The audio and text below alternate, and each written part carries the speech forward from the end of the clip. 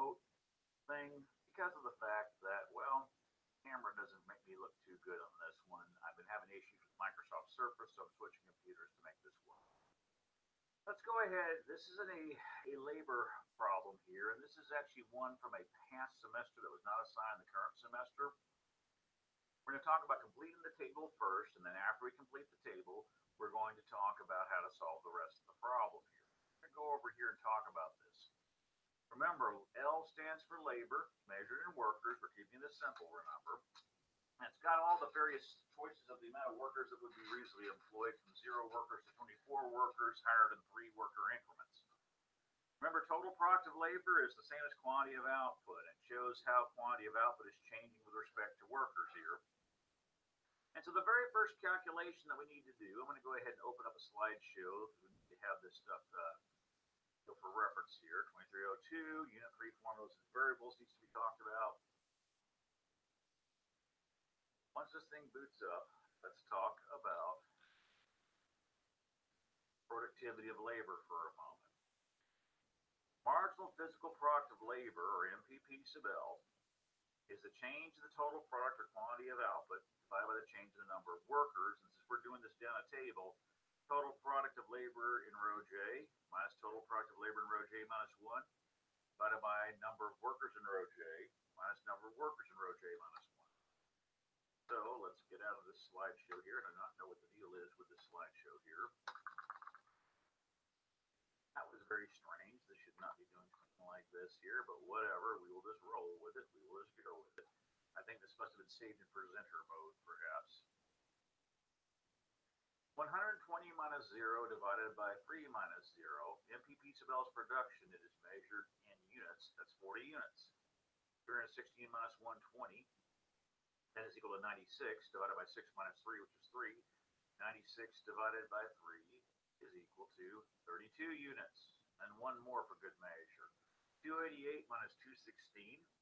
Okay, that is equal to uh, okay, 96 minus 24, blah blah blah. 72, 70, and 9 minus 6 is 3. 72 divided by 3 is 24 units, etc. Run these down with the calculator. You may have to set a uh, pause to copy this stuff down, but these are the MPP sub L's for part A.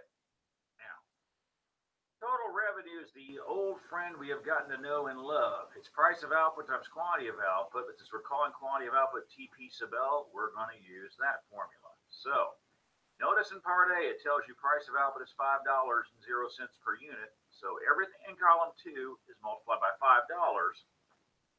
And I already put the first item up here. $5 times zero units is $0. Whoopee. $5 times 120 units, remember prices are per units, is equal to $600 and zero cents. And I'm not going to keep saying the zero cents, but you got to remember to write that. Uh, then $5 and zero cents times 216 units is equal to $1,080 and zero cents. Every row in column two will be multiplied by $5 and zero cents to get the values in column four for total revenue. And so if we do all this, that gives you the total revenue column for part A. Now, marginal revenue product of labor. Let's talk about that formula here. That is the change in the total revenue divided by change in the number of workers, and they've got a divided difference formula, but this takes too many steps. We have an easier formula to use over here. Price per unit of output times MPP sub L will also equal to MRP sub L, so that's what we're going to do instead. So column three has got the MPP sub L, and by the way, there's no MPP sub L at zero workers because there's been no change in output. That means there is no additional revenue earned from hiring an additional worker, and there's no workers hired, so we have to start with the second row. 40 times $5 is $200. 32 times $5 is $160. 24 times $5 is $120 and zero cents in each cases. So in other words, take every entry in column three, multiply by the price in part A, $5 and zero cents, that gives you the values for the marginal revenue product of labor in part A.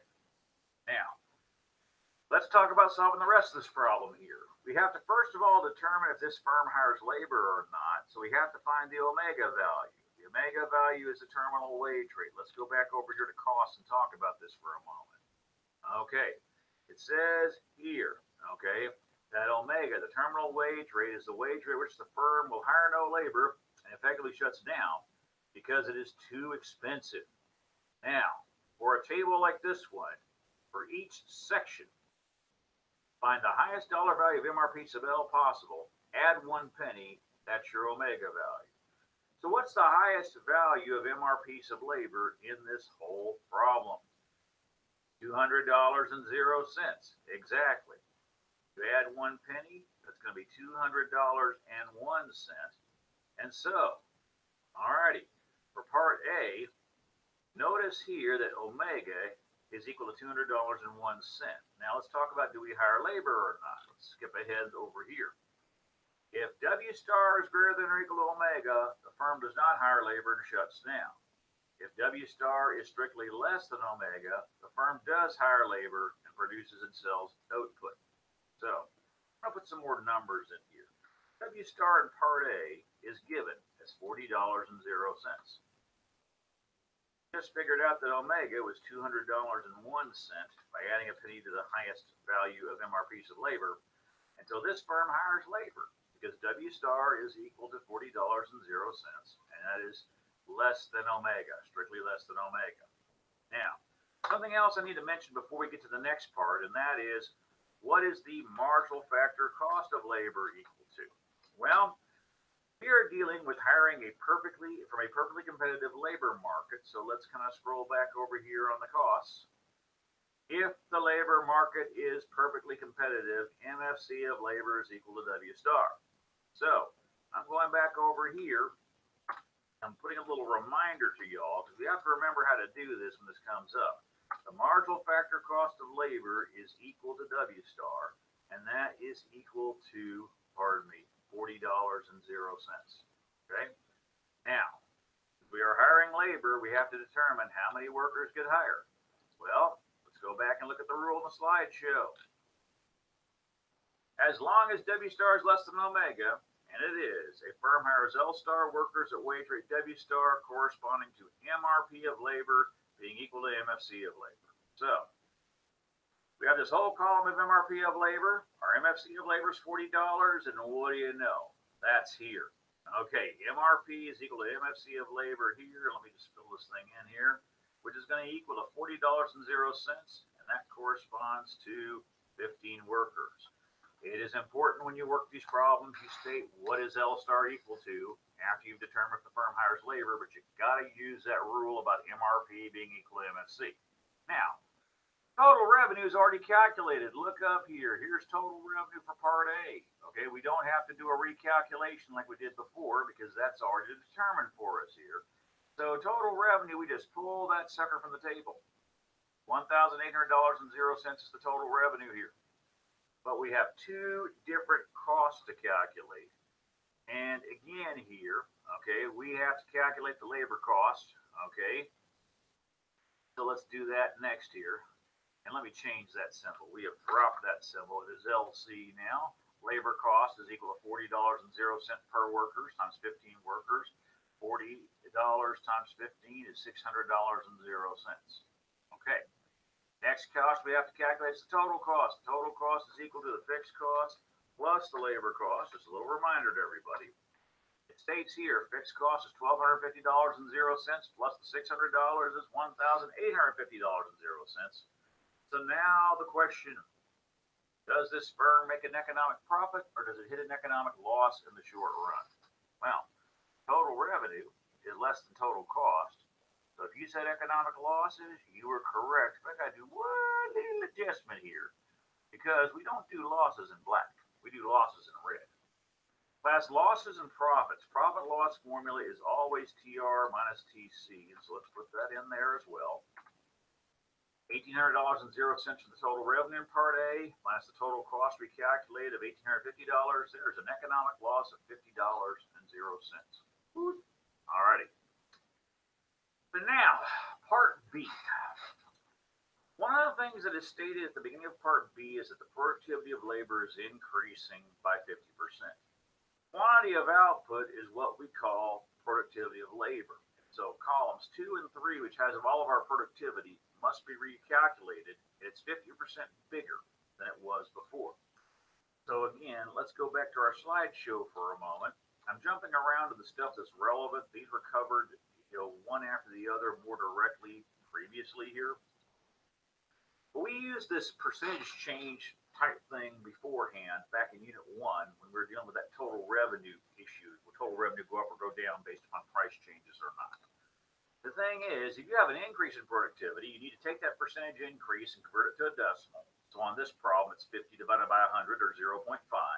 You add that to the number one, you get a factor of 1.5. And every value for total product is multiplied by 1.5, and then it's 50% bigger. But it also works for marginal physical product of labor because of the distributive property of multiplication. Yay, math. Now, if we, had had a decrease in productivity, like suppose there had been like a 20% decrease in productivity, 20% is a decimal of 0.2 you'd have to find a factor of 1 minus the percentage change, since it's a decrease, so it would be 0.8. And so you'd have to multiply both the total product and the MPP sub L, marginal physical product of labor, by 0.8 to get values that were 20% less. But for this problem, all these values here in these first two columns are multiplied by 1.5. And I put the first value up here. 1.5 times 0 units is still 0 units. 1.5 times 120 units is 180 units. 1.5 times 216 units is 324 units. 1.5 times 288 units is 432 units, etc. Take all the values in column 2, total product, multiply by 1.5, that is based upon productivity of labor increasing 50%, and that gets you all the values that go into column 6. But remember, this also works for MPP sub L. No entry in the first row because there's no change in production at zero. 40 times 1.5 is 60 units. 32 times 1.5 is 48 units. 24 times 1.5 is 36 units, etc., etc., etc. All the values here in column 7 are column 3 multiplied by 1.5 because productivity of labor has increased by 50%. Now, we also have to recalculate total revenue, and that's still price of output of total product of labor, but you have to use column six now because part B has got a different production column than part A does. Now, also make sure you read this problem carefully. Part B says price of output is $4 per unit. So every value in column six is multiplied by $4, and I already spotted the first value because $4 times zero units is $0.00. We have to do the rest for the others. $4 times 180 units, $720. $4 times 160 units, sorry, uh, 324 units, I apologize, $1,296.00. $4 times 432 units, $1,728.00 etc., etc. Down the table. All these values in column six are multiplied by the price of output given below, which is four dollars and zero cents to get the new total revenue values. Now, again, just a reminder, when we are calculating the total revenue, we also have a nice short formula for MP for, for MRP sub L, marginal revenue product labor, price of output times MPP sub L. But again, we have to use column seven. Part B has a different MPP sub L than part A does. You use the price in part B as well. Class, a lot of your problems, a lot of the uh, difficulties you have can be mitigated by reading the problem all the way through carefully. So 40 times 6, if I pray 4 times 60, excuse me, turn $40.00. 4 times 48, $192.00. 4 times 36, $144.00.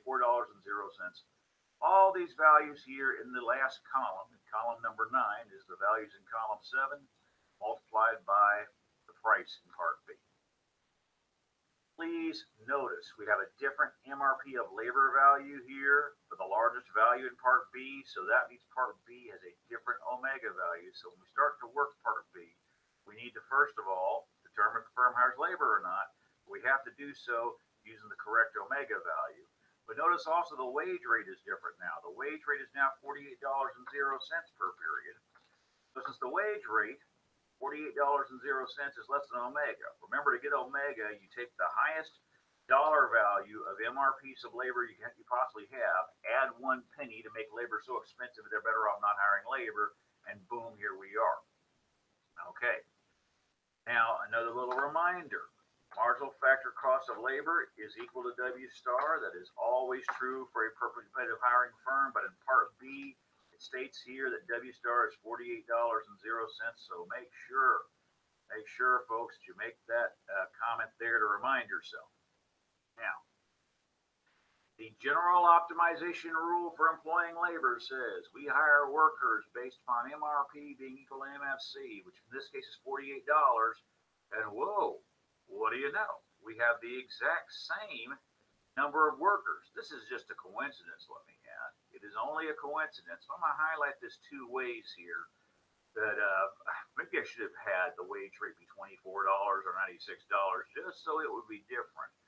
But you know something? Sometimes these things happen in the real world, and we're just gonna just go with it. Just follow the rules, and we're fine. Fifteen workers are hired once again. That's our L star. You must declare that. Total revenue. Make sure you pull it in Part B because this is Part B's prices and output, not Part A. Total revenue in Part B is two thousand one hundred sixty dollars and zero cents, and that's taken from the table. Now, you must also calculate labor cost. Labor cost is equal to number of workers, and let's change this here to say LC if we are using the more current modality.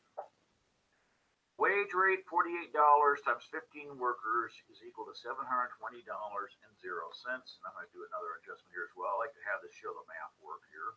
I want to show it in correct order. Okay, that's labor cost for you.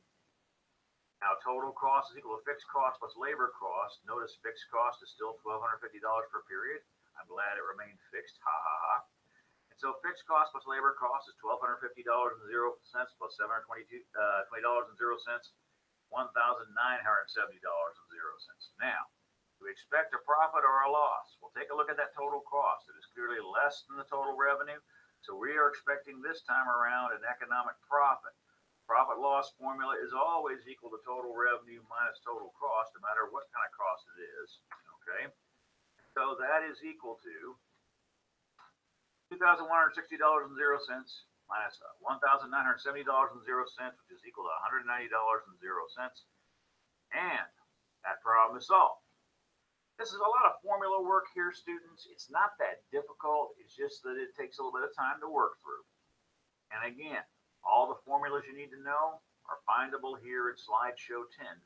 So hopefully this guided problem will make things better for you. Alrighty.